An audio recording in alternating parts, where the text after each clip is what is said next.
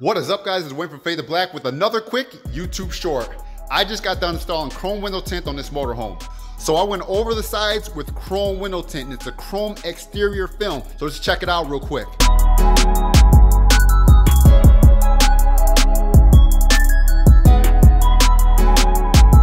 Now this is chrome film applied on the exterior of the glass. So it's going on the outside. Now, I'm kind of doing an experiment. I'm not really sure how it's gonna go. It's a motorhome, so it shouldn't be that big of a deal.